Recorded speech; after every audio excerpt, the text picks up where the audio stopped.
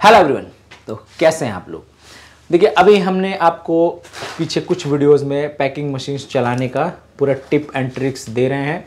इस वीडियो में हम बताएँगे कि अगर कैमरा स्लाइड से और पिच गियर जो आपका पाउच का लेंथ होता है, वो सब सेट करने के बाद भी पैकिंग मशीन पे आपके आई मार्क की सेटिंग नहीं हो पा रही है तो आपको किन चीज़ों पे फोकस करना है? आइए बिना किसी तरीके स्टार्ट करते हैं। राजू भाई बताओ दो चीज़ें तो हमने बदल के देख लिया था। जी। मतलब एक तो पिच गियर बदल लिया था दूसरा कैमरे को आगे पीछे करके सेट करके देख लिया था। तीसरी वजह बताइए कि अगर आई मार्क नहीं चलता है तो हमें क्या चीज़ पे ध्यान देना चाहिए देखिए सबसे पहले जो हमने बताया उसके अलावा ये दो सेंसर हैं। ठीक है। ये सेंस ये यहाँ से सेंस होता है सही है। तो इसको पैनल को कमांड देता है। ये पैनल है है, अपना सही है। फ़ोटो इलेक्ट्रिक पैनल हाँ। ठीक है? हाँ।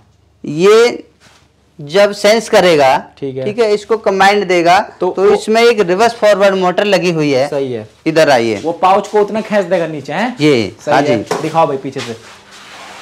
ये देखिए ये रिवर्स फॉरवर्ड दोनों साइड चलता है मोटर सही है। इसका बटन दबाइए रिवर्स फॉरवर्ड ठीक है। ये इस तरीके से फॉरवर्ड ये।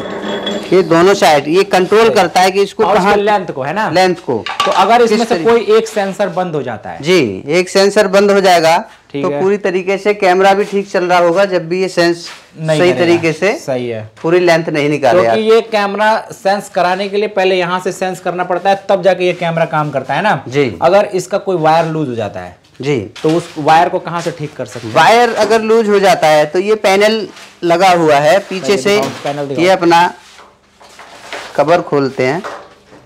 ये जो कवरिंग है। पॉज कर दो।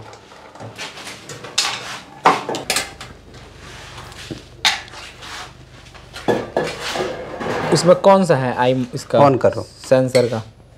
ऑन करो। चल रहा है। देखिए ये सेंसर ये दो नीली तार हैं।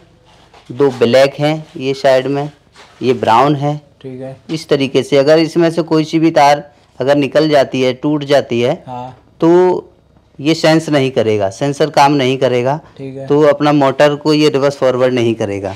तो यहाँ से वायर चेक कर सकते हैं। ठीक है? ये ट्रांसफार्मर का मोटर है। ठीक है। ये इसमें लाइन दिया है। ये मेन सही है सही है। इससे लाइट जाती है इसमें। ठीक है। अगर कोई लाइट की दिक्कत है तो यहाँ से चेक कर सकते हैं। इसके अलावा एक चीज़ और होता है जो बहुत छोटी चीज़ है वो सेंसर अगर थोड़ा ऊपर नीचे हो जाता है तो भी सेंस नहीं करता जरा वो भी करके दिखाइए हाँ, आगे से। एक चीज़ और दिखाओ भाई। आगे ले जाके दिखाओ।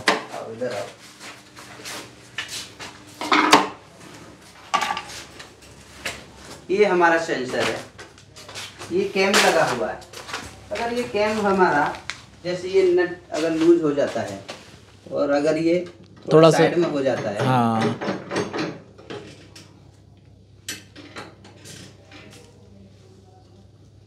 देखिए इस हाँ। तरीके से।